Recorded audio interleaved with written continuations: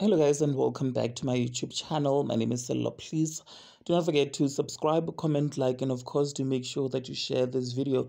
Bishop Makamu was at the scene when Pastor Mboro's church was burned down to ashes by a group of school learners yesterday, you guys. Now, Bishop Makamu broke his silence regarding the church being torched down by those learners, you guys, and he detailed his relationship, or shall I say, friendship or um colleague with Mboro and he was asked whether he reached out to Pastor Mboro by um, ENCA journalist, and he was also asked what it is that he was actually doing at the scene, you guys. So Bishop Makamu had quite a bit to say. So let me not waste your time, but quickly insert that little snippet video of him detailing everything. But before I do that, do make sure that you do engage with me in the comment section, and of course also like this video and subscribe so that you do not miss out whenever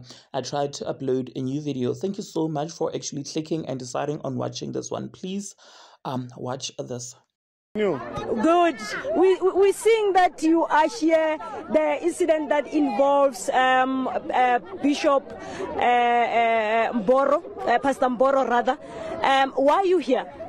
I just came because I'm a community member. I just came because I heard that uh, the church has burned down, and I chose to come and, and see exactly what's going on. I stay around here, so I'm, I just came as a in a capacity of being a community member.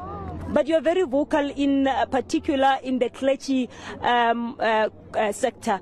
Uh, what do you make of what we depicted uh, from the video that was circulating showing your colleague, uh, Pastor Mboro?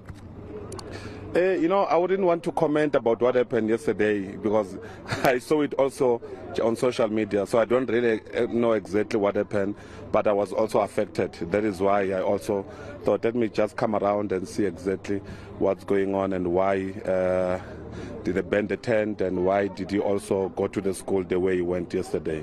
Are you close to the bishop in question, to the to the yeah to the pastor in question, and where is he? Have you spoke to him? Uh, we know each other. I tried to call him, uh, couldn't. The phone didn't go through.